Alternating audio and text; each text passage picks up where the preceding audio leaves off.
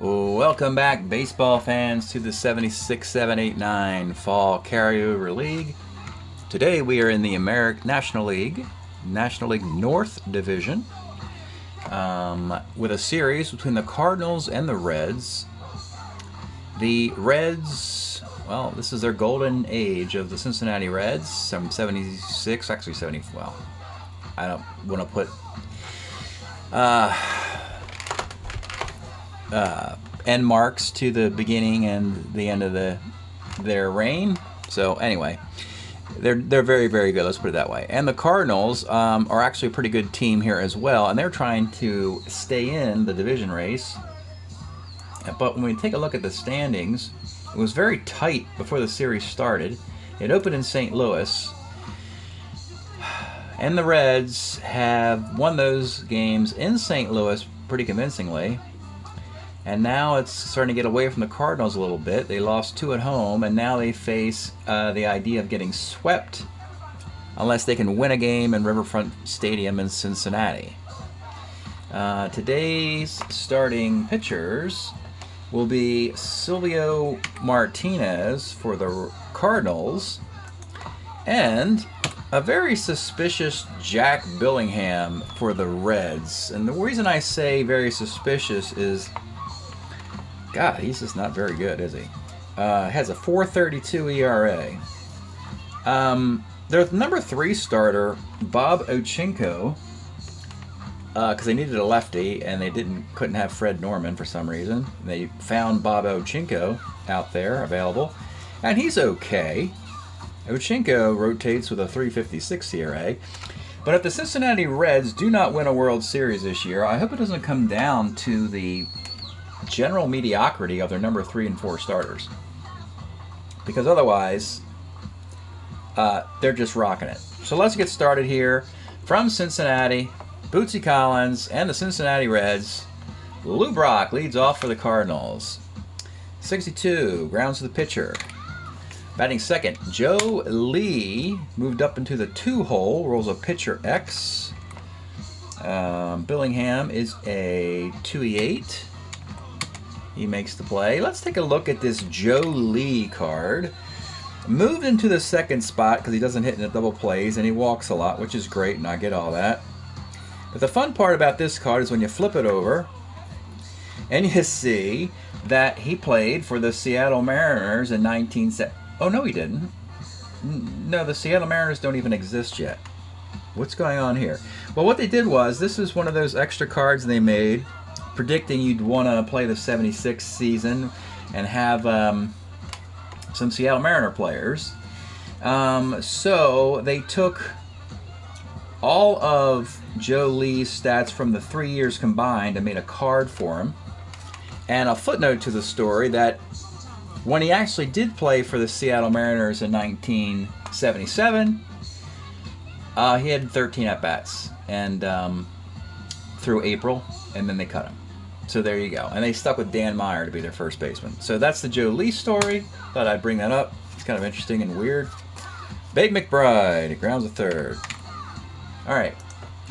Bottom of one, Joe Morgan, 37, ball four. Do you want to steal off of the zero arm of Simmons? Sure, why not? Uh, he steals second, and the it's not to tear inning. A Rose, by any other name, rolls pitcher. Ken Griffey is the uh, sky to center. And with two outs, it's Foster. Short. Reggie Smith, 46, base hit. Ted Simmons, 3-6. Let's take a look at Simba. Another one of his 300, 318 and 77. Simba, homer one of 17, two-run blast, and the Cardinals are on the board. Templeton, base hit. Keith Hernandez pops third. Reitz, Five, four, three double play. Oh, wait a minute. No, no, no, no. Stop the presses. That is not a 5-4-3 double play. You had to hold Templeton on. That's going to be a single. Ooh, that hurts a little bit. Runs in the corners with one out. Different inning altogether. Oberkfell, 38's a base hit in the center field. Wow. Oh, that's, that's what speed is supposed to do for a team, even when you're not stealing bases. First and second, one out. Lou Brock K's. And with two outs, our boy Lis, 52, center. So, three-run inning. Kind of a BS inning there for the Cardinals. Reds don't seem to mind. The, yeah. Johnny Bench, okay. All right, Johnny Bench, that's, yeah, okay. Uh, it doesn't really matter what bench card you make. He'll hit it. Johnny Bench, 77 card, a meager 31 home runs and, a 275 batting average, and a solo homer here. It's 3 to 1. Geronimo, third. Concepcion, center, and with two outs, Milt May, 65, lines a third.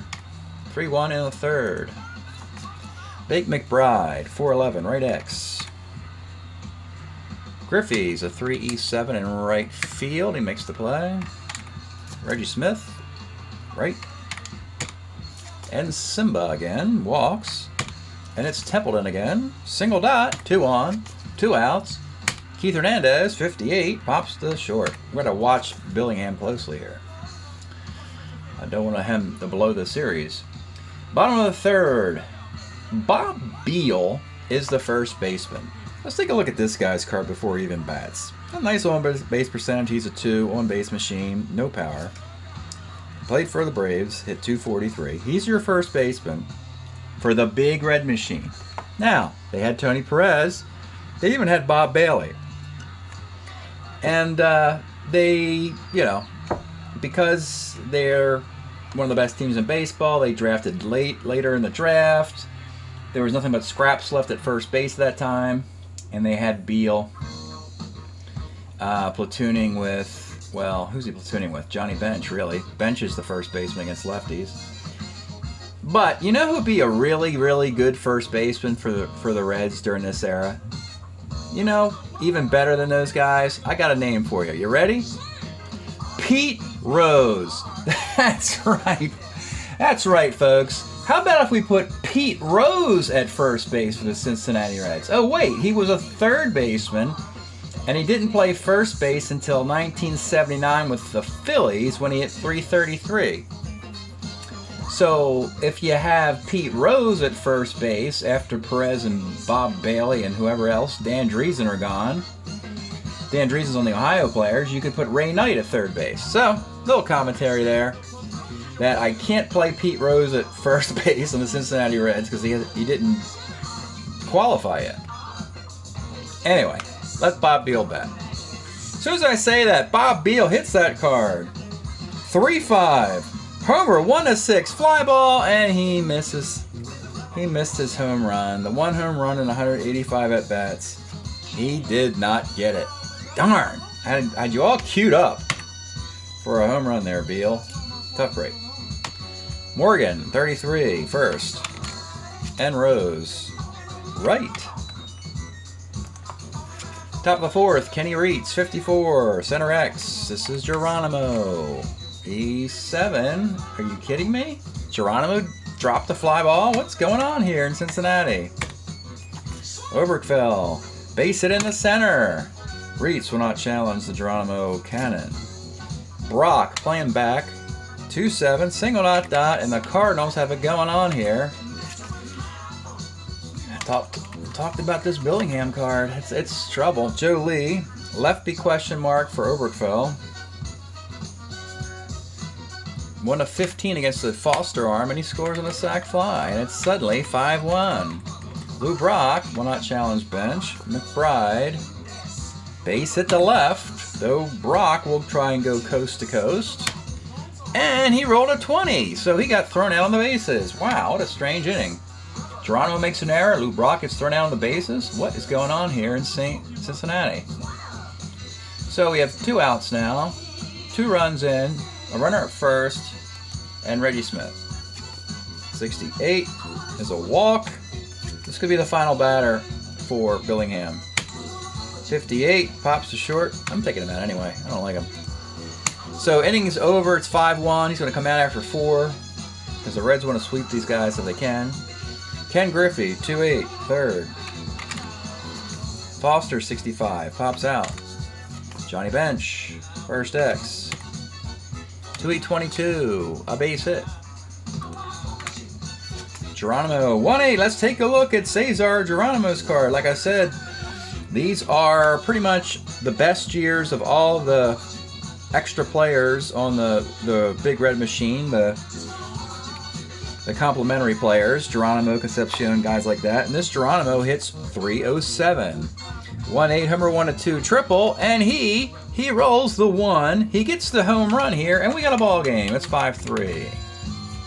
Concepcion, 3 6. Homer, 1 to 2 double. Let's look at Geronimo uh, Concepcion's card.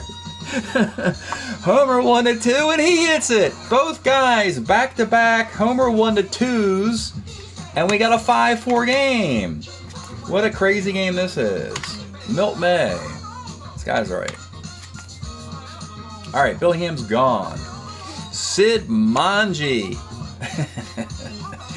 comes on in the fifth. Let's take a look at old Sid. Yeah.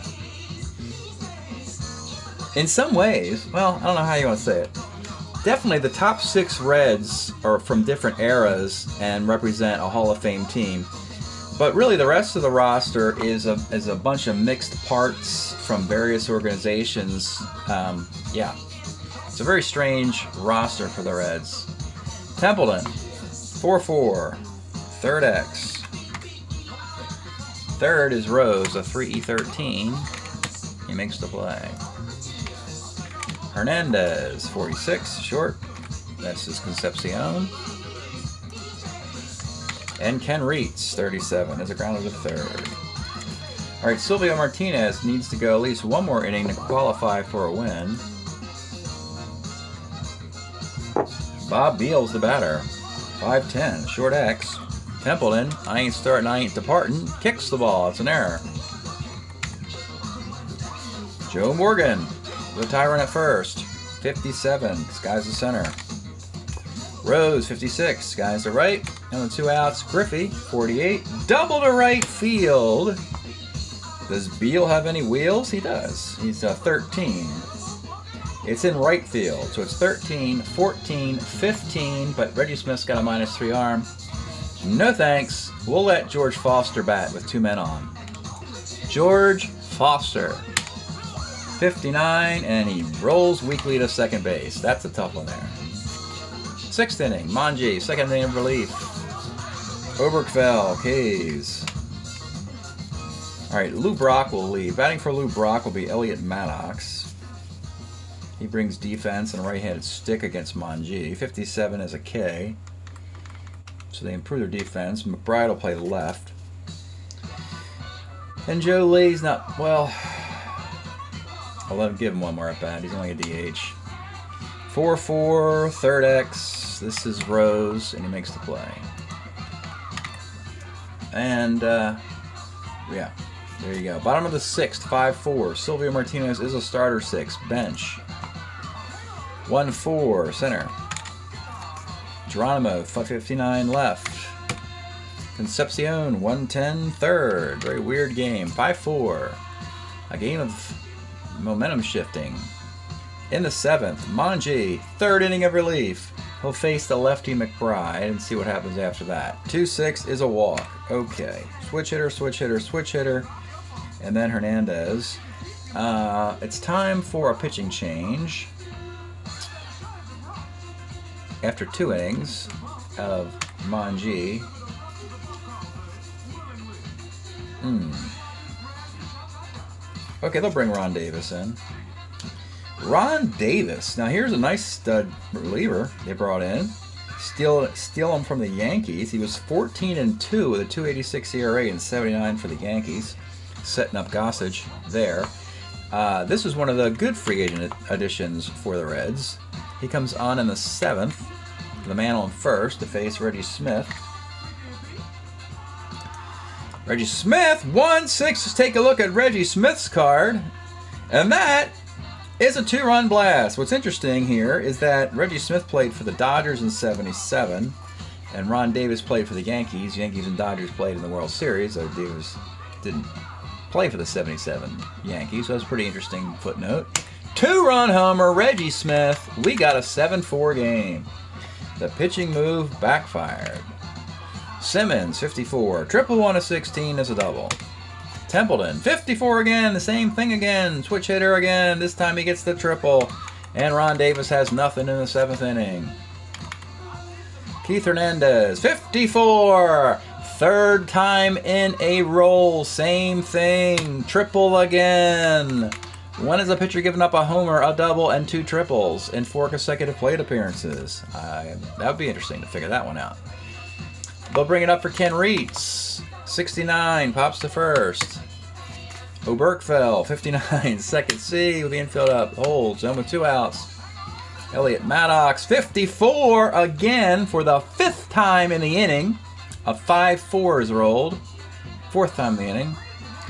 But a right-hander, it's Homer 1 to 11 double. Which makes it a single in this case, and an RBI. And with two outs, our friend Joe Lis, 44, skies the center. By the way, I have to put this here in uh, Maddox's spot. There we go.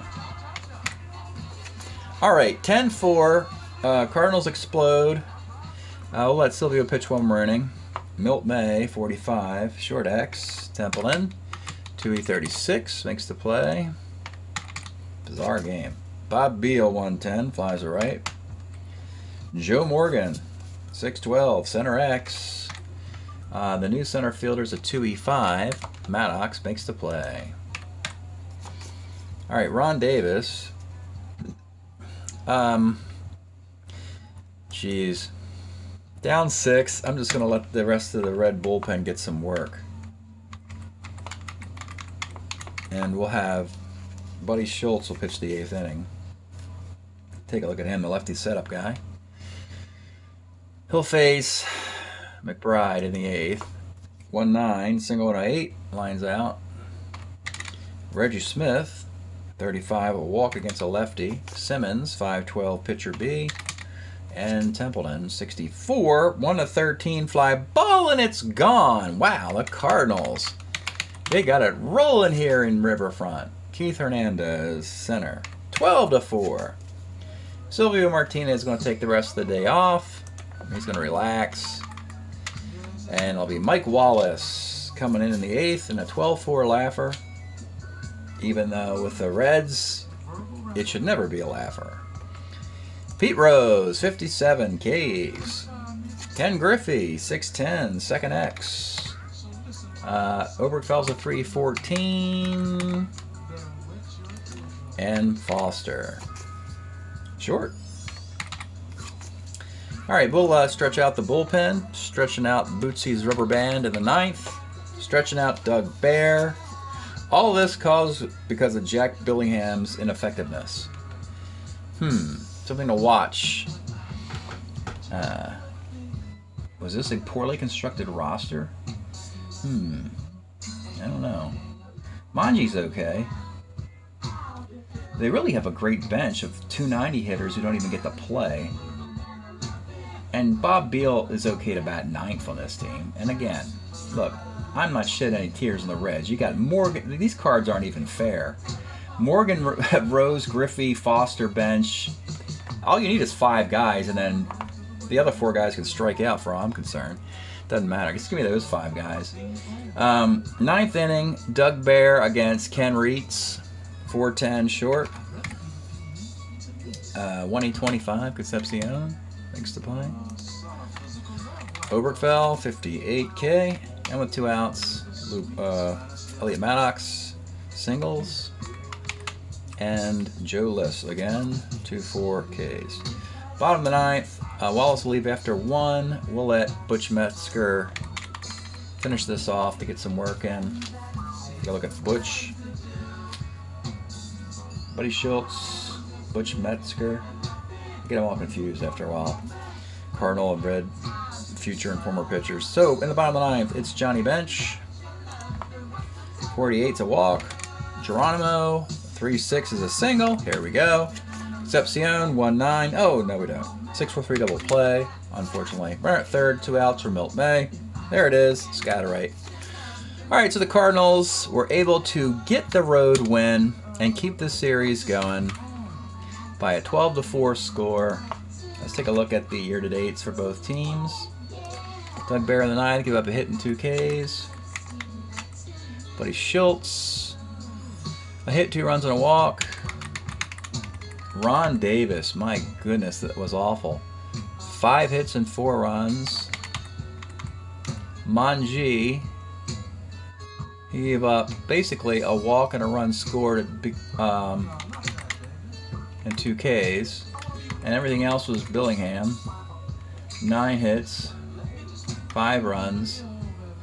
Uh, only three were earned. Actually, that Geronimo dropped that fly ball really hurt Billingham's chances of sticking around. Mester gave up a hit and a walk in the ninth. Mike Wallace a strikeout in the eighth. Silvio Martinez, very good start. Seven innings, gives up five hits and four runs. Uh, the gopher ball really hurt him here, but not enough to cause him to kick him out of the game. 1009, 0109, 12 16, 4 6, 4 5 2 1. That was game three.